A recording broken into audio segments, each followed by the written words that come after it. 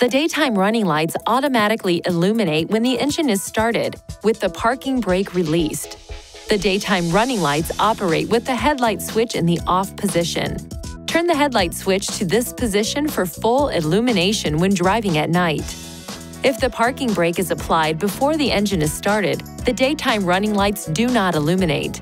The daytime running lights will remain on until the ignition switch is placed in the off position. To turn on your front parking lights, tail lights, license plate light, and instrument panel lights, turn the headlight switch to this position. To turn on the front headlights, turn the switch to this position. All the other lights will stay on. To turn on your high beam headlights, push this lever forward, pull it back towards you to select low beam.